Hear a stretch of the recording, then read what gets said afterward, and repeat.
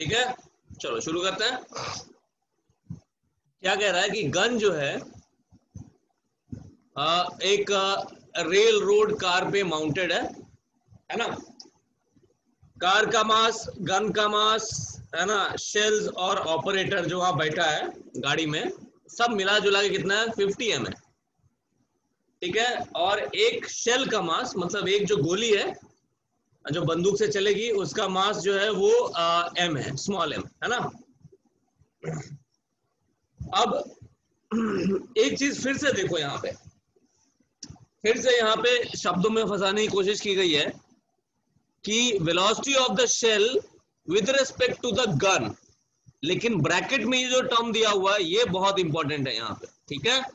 यही डिसाइड करेगा कि क्वेश्चन सॉल्व कैसे करेंगे हम लोग, ठीक है? In its state before firing लिखा है ना is 200 meter per second what is the recoil speed of the car after the second shot? Neglect friction. तो ये स्टेटमेंट अभी से तुम लोग अच्छे से दिमाग में बिठा लो ये क्या है है ना? इस स्टेटमेंट का यूज़ आएगा ये क्वेश्चन सॉल्व करने में, ठीक है? चलो तो क्वेश्चन देखते हैं, है ना? इसका सॉल्यूशन सिंपल सा है, बहुत ज़्यादा डिफ़िकल्ट नहीं है। चलो, मेरा स्क्रीन दिख रहा है सबको? बताओ। हाँ सर चलो अब सबसे पहला देखो स्टेटमेंट मैंने क्या लिखा है। सबसे पहला स्टेटमेंट लिखा है कि u is equal to 200 meter per second is not absolute ठीक है? वो कैसा है? रिलेटिव है। ठीक? बोलो। हाँ सर चलो तो पहला केस लेते हैं। पहला केस लेते हैं जब आ, ये जो बुलेट है बुलेट किधर गया राइट को तो मोमेंटम कितना है? सिस्टम पे बाहर से तो कोई फोर्स है नहीं। फ्रिक्शन को इग्नोर करने बोला है ना?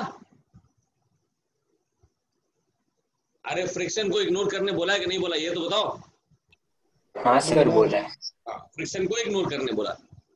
तो मान लेते हैं कि पहला शॉट जब फायर हुआ पहला शॉट जब फायर हुआ तो ये बंदूक की जो सॉरी जो गोली निकली, गोली की वेलोसिटी है स्मॉल वी ठीक है? ये एक्चुअल वेलोसिटी है विद रिस्पेक्ट टू ग्राउंड ये ये 200 मीटर पर सेकंड नहीं है, ये ध्यान रहे. आई बात समझ? u is equal to 200 meter per second is not with respect to ground. It is with respect to the gun. आई बात समझ? एक्चुअल वेलोसिटी जो है शेल का, वो मैंने वी लिया। ये स्टेटमेंट बहुत ही इंपॉर्टेंट है यहाँ पे। ये ध्यान रहे, ये this v is not equal to u. This v is the actual velocity of the shell yes clear तो मोमेंटम कंजर्व करने के लिए जो बाकी का जो सिस्टम है car plus operator plus gun जो भी है, ये सब पीछे जा रहा है कैपिटल वी से। क्योंकि हमको मोमेंटम कितना करना है? ज़ीरो करना है। इनिशियल मोमेंटम ज़ीरो था तो फाइनल मोमेंटम भी ज़ीरो ही रहेगा। है कि नहीं? बोलो। चलो। तो मोमेंटम कंजर्व कर दिया हमने। M B minus forty nine M B is equal to zero यहाँ से कुछ आ गया हमको। ए, एक गोली निकल जाएगी तो मास कितना बचेगा? 49 एम बचेगा ना? इसलिए आ रही है। B is equal to forty nine B ये देखो ये रिलेशन चलो। अब अब ये स्टेटमेंट देखो जरा ध्यान से। क्या लिखा है मैंने? मैं इस स्टेटमेंट को यूज़ करने की कोशिश कर रहा हूँ। ये जो दिया है ना, u is equal to two hundred meter per second इसको यूज़ करने की कोशिश कर रहा हूँ मैं, ठीक है? देखो रिलेटिव वेलोसिटी क्या होती है? जैसे कि velocity of shell with respect to gun ठीक है? इज़ इक्वल टू क्या लिखोगे? Velocity of shell with respect to ground minus velocity of gun with respect to ground यही करोगे ना? बोलो। ये लिखते हैं ना रिलेटिव वेलोसिटी ऐसे ही लिखते हैं ना? लेकिन क्वेश्चन में क्या लिखा हुआ था? कि तुमको गन की वेलोसिटी कौन सी लेनी है? गन की वेलोसिटी लेनी है before firing the shot gun मतलब कार्ट कार्ट और गन गन जो है वो कार्ट पे ही लगा हुआ है ना? तो गन और कार्ड की वेलोसिटी सेम है, ध्यान रखें मतलब ये वाली जो वेलोसिटी लेनी है बिफोर फायरिंग द शॉट पहला शॉट फायर करने से पहले ये velocity of gun with respect to ground क्या है? ज़ीरो है क्या? बोलो। यानी कि velocity of shell with respect to gun ये कितना दिया हुआ है? ये दिया हुआ तो 200 200 मतलब यू है ना? इससे हमको ये रिलेशन मिल रहा है। Velocity of shell is equal to 200 I cap u का वैल्यू 200 है कोई दिक्कत यहाँ पे? अरे बोलो आगे बढ़े? यस सर चलो गुड आगे बढ़ते हैं। तो कैपिटल वी की वैल्यू हमने ऊपर निकाली थी ना small v by forty nine small v by forty nine small v कितना था? यहाँ अभी हमको आया ना स्मॉल वी यही वी सेल था ना स्मॉल वी स्मॉल वी कितना था? टू हंड्रेड था ना? अभी निकाला हमने।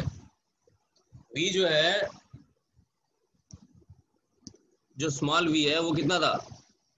स्मॉल वी तो अभी कितना है? यू के बराबर ही है ना देखो ना। Small v is equal to u ये अभी देखा ना हमने? अभी आएगा ना? हाँ सर चलो तो ये आ गया। चलो अब सेकंड फायरिंग जब हो रहा है तब देखते हैं। ठीक है? सेकंड फायरिंग से पहले का सिचुएशन ये है। सेकंड फायरिंग से सेकंड फायरिंग से पहले का सिचुएशन ये है। पूरा सिस्टम जो है, वो पीछे की तरफ़ जा रहा है विद वेलोसिटी कैपिटल वी कोई दिक्कत यहाँ पे? चलो, अब देखते हैं। इस बार जो शेल फायर होगा, उसकी एक्चुअल वेलोसिटी बी डैश मान लेते हैं। ठीक है? इस बार जो शेल फायर हुआ, उसकी एक्चुअल वेलोसिटी क्या मानते हैं? बी डैश ठीक है? चलो। फिर से वही रिलेटिव वेलोसिटी वाला कॉन्सेप्ट इस्तेमाल कर लेते हैं। है ना? मतलब हमारा जो है फायर करने के सेकेंड फायर से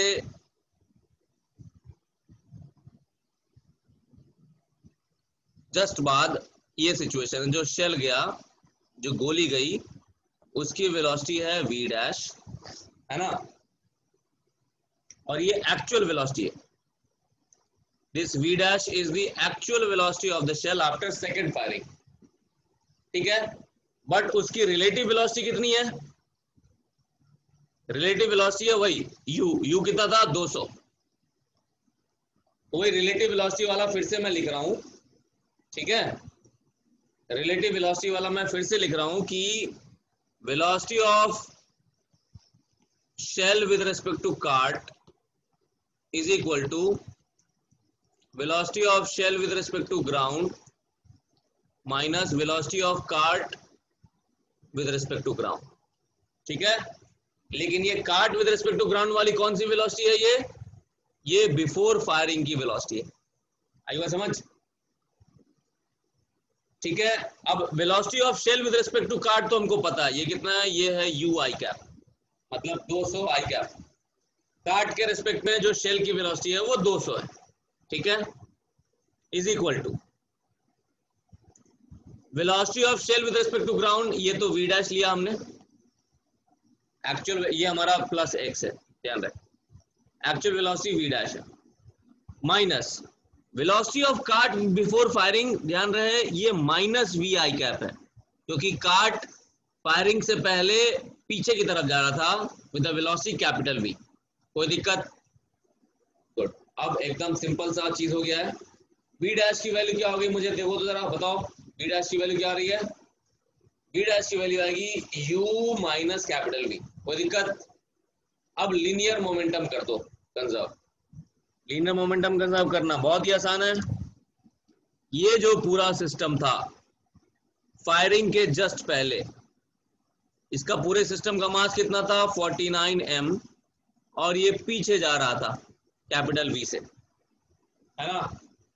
और ये हमारा प्लस एक्स एक्सिस है। ये ध्यान रहे लीनियर मोमेंटम कंजर्व करते टाइम ना, ये डायरेक्शन वायरेक्शन का बहुत ध्यान रखना। वेक्टर क्वांटिटी है तो उसको स्केलर की तरह मत ट्रीट करना, है ना? प्लस माइनस साइन प्रॉपर देख के रखना उसको। समझ रहे हो? और कैपिटल वी हमने पहले निकाला था ना, u बाई फोर्टी नाइन तो यहाँ पे डाल दो। तो क्या रहा है? माइनस ऑफ़ एम यू आ रहा है। कैपिटल वी निकाला था ना, u बाई फोर्टी नाइन देखो तो ऊपर। यहाँ देखो, निकाला होगा। कहा निकाला है? कैपिटल वी हमने निकाला है ये ये देखो। तो वही यहाँ पे सब्सटीट्यूट कर दिया हमने, ठीक है? तो इनिशियल मोमेंटम आ रहा है माइनस ऑफ़ एम यू ठीक है? अब फाइनल मोमेंटम फाइनल मोमेंटम क्या है? ये देखो। काट पीछे जाएगी वी डैश से।